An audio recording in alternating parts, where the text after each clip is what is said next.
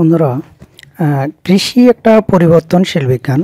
সময়ের সাথে সাথে নানা পরিবর্তন কৃষিতে আসছে, যার ফলে কৃষির উৎপাদন বেড়ে যাচ্ছে বহুলাংশে। মানুষ এই এক সময়ের অবহেলিত কৃষিকে এখন বেছে নিচ্ছে তার শেষ সম্বল হিসেবে। আমি একটা কথা সবসময় বলি যে, জেনে বুঝে করলে চাষ ফলন পাবেন বারো মাস।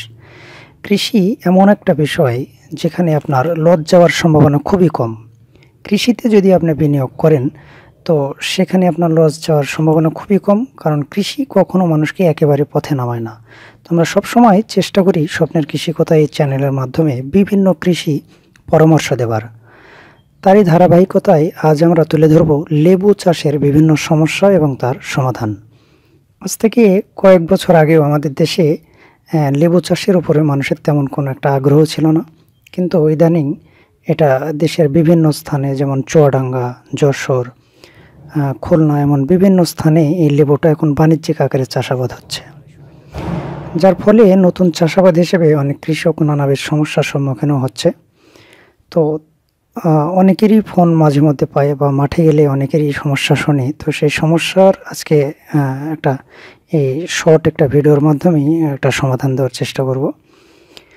তো, আমাদের দেশে সাধারণত অক্টোবরের মাঝামাঝি থেকে জানুয়ারি জানুয়ারি মাঝে মাসে, মাঝামাঝি এই একটা জানুয়ারি, ফেব্রুয়ারি প্রায়, তো এই সময়টাতে কিন্তু লেবু গাছের পাতাগুলো ঝরে যায়। যার ফলে যা ঝরে যায় যারা বাণিজ্যিক আকারে চাষাবাদ করেন তাদের এই সময়টাতে অনেক চিন্তা হয়ে যায় যে সব গাছের পাতা ঝরে যাচ্ছে, গাছগুলো মরা হয়ে যাচ্ছে। ফেব্রুয়ারি, মার্চের প্রথম থেকে আমাদের গাছে ফুল চলে আসবে, এই সময়টাতে আমরা গাছের কি কি পরিচর্যা নিতে পারি? এটা একটা গুরুত্বপূর্ণ বিষয় আসলে যারা বাণিজ্যিক আকারে চাষাবাদ করবে, তাদের এই চিন্তাটা থাকাটাই স্বাভাবিক। তো এই সমস্যার সমাধানও আমি দেবো।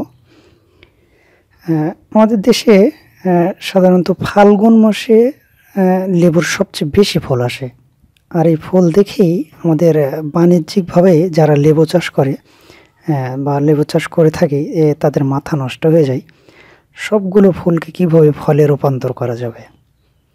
তবে সাথে সাথে এই চিন্তাটাও থাকা তাদের দরকার যে আসলে একটা গাছের ধারণ ক্ষমতা আছে, গাছ তার নিজের দিকে লক্ষ্য রেখেই কিছু ফল ঝরিয়ে দেয়।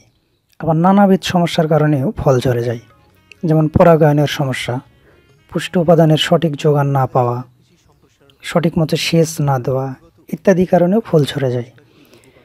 লেবু গাছে যে পরিমাণ ফুল আসে আপনারা তো অবশ্যই যারা বাণিজ্যিক আকারে চাষ করেন তারা মাঠে গেলে দেখেন যে গাছ ভোরে ফুল আসে, যে পরিমাণ ফুল আসে সে পরিমাণে যে সবগুলো ফুল যদি ফলে রূপান্তর হয়, তো গাছটা আপনি বাঁশ দিয়েও আটকাতে পারবেন না, গাছটা ভেঙে যাবে। তো গাছ তার নিজের ব্যালেন্সটাকে কন্ট্রোল করার জন্য হলেও কিছু ফল ছড়িয়ে দেয় আর কিছু প্রাকৃতিক কারণে, কিছু পুষ্টি উপাদানের কারণে এগুলো ঝরে যায়। তো আমাদের দেশে অক্টোবরের শুরু থেকে অক্টোবরের পনেরো আর জানুয়ারির, দেখা যাচ্ছে জানুয়ারি পুরোটা মাস জুড়েই এই শীতকালীন একটা সময়ে আমাদের গাছের পাতাগুলো ঝরে যায়। তো এই সময় আমাদের অনেক কৃষকরা বিভিন্ন সময় দেখি তারা এই সময় গাছের ব্যাপক পরিচর্যা করে। ইচ্ছে মতো সার দেয়, সেচ দেয়, দেওয়ার ফলে কি হয়? জানুয়ারির শুরুতেই বা ডিসেম্বরের দিকেই ও মানে কাঙ্ক্ষিত সময় ছাড়াই অনেক আগেই গাছের পাতা চলে আসে। গাছ একটা ব্যাপক শক্তি ধারণ করে, করার ফলে দেখা যায় যে গাছে ফুল আসে না। ফুল আসলেও সেগুলো ফুল, ফলে রূপান্তর হয় না। তো এরপরে দেখি আমাদের কাছে নানা যে অনেকজন আসে যে, এই সমস্যা, এই পরিচর্যা করেছি, আসলে এটার সমাধান কী? তো আমি বলব, এই সময়টাতে গাছের কোনো পরিচর্যার প্রয়োজন নেই। আপনার সেচ দেওয়ার প্রয়োজন নেই, সার দেওয়ারও প্রয়োজন নেই। কারণ গাছে পাতাও নেই এবং এই সময়টা গাছের পাতায় এগুলো পত্র ঝরা উদ্ভিদ, এগুলো গাছের পাতা এমনিতেই ঝরে যায় প্রাকৃতিকভাবে। তো এই সময়টাতে আপনারা বাড়তি পরিচর্যা হিসেবে নিতে পারেন যে গাছের যেগুলো মরা ডালগুলো আছে, সেগুলো আপনারা কেটে দিতে পারেন। এছাড়া এই সমস্যা এই পরিচর্যা ছাড়া সাধারণত ব্যাপকভাবে পরিচর্যার লেবু বাগানে প্রয়োজন পড়ে না। আর ফুল ফোটা অবস্থায় কোনো প্রকার কীটনাশক স্প্রে করা যাবে না। আমি এখন সমাধান সম্পর্কে বলব। যদিও পোকামাকড়ের উপদ্রবের সময় একটু বেশি হয়, উপকারী পোকা, অপকারী পোকা, দুই প্রকারই একটা উপদ্রব থাকে। তো সেক্ষেত্রে আপনারা যদি স্প্রে করতেই হয়, পোকার উপদ্রব বেশি হয়, তাহলে আপনারা জৈবিক যে পালেনাশকগুলো আছে সেগুলো স্প্রে করতে পারেন। যেমন বায়োম্যাক্সিয়াম বারো ইসি স্প্রে করতে পারেন। এছাড়া সাকসেস ওয়ান মিলি পার লিটারে ব্যবহার করতে পারেন। এতে মৌমাছি মরবে না, কিন্তু সাদা মাছি থ্রিপস জ্যাসিড পোকা এগুলো মরে যাবে। এছাড়াও আপনারা ফলের যখন গুটি চলে আসে, তখন আপনারা জিব্রাইলিক অ্যাসিড পঞ্চাশ মিলি পার লিটার স্প্রে করতে পারেন। তাতে ফুল এবং ফলের গ্রোথ ভালো হয়।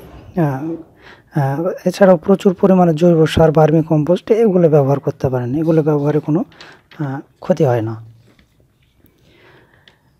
এখন সবগুলো যখন ফলে রূপান্তর হবে, সে সময় যখন গুটি চলে আসবে, একটু বড় বড় আকার হবে মার্বেল আকার বা একটু লম্বা টাইপের হয় লেবু সাধারণত।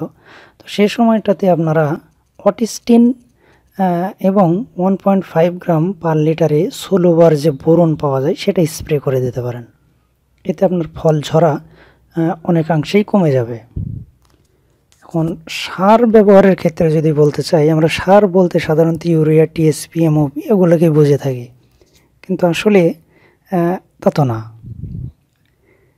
আপনাকে গাছের কোন পুষ্টি উপাদানের চাহিদা সেটা বুঝে আপনাকে সেই চাহিদা অনুযায়ী আপনাকে সার দিতে হবে। কারণ এক একটা সার এক একটা পুষ্টি উপাদান এক একটা পুষ্টি উপাদান বহন করে এক একটা এক একটা উপাদান থাকে। তো কোন উপাদানটির গাছের অভাব পড়েছে অভাব হচ্ছে, সেটা পটাশিয়াম বা ক্যালসিয়াম বা ফসফরাস। তো সেগুলো আপনাকে বুঝে সেই পরিচর্যা নিতে হবে। এক্ষেত্রে আপনার নিকটস্থ উপসহকারী কৃষি কর্মকর্তা যারা আছে, তাদের আপনারা সহযোগিতা নিতে পারেন। আপনার যদি না বোঝেন আর যদি বুঝে থাকেন তাহলে তো আপনিই পারবেন। যেমন পটাশিয়ামের অভাবে গাছের পাতার অগ্রভাগ, কেনারা ঝলসে যায় বা পুড়ে যাবার মতো দেখায়। এটা লেবু গাছে প্রায় দেখা যায়। আবার বরুণের অভাবে পাতা খর্বাকার হয়ে যায়, একটা কুকড়ে মুকড়ের মতো হয়ে যায়, আবার ফলের বৃদ্ধি ব্যাহত হয়, এসব নানা সমস্যা উপলব্ধি করে।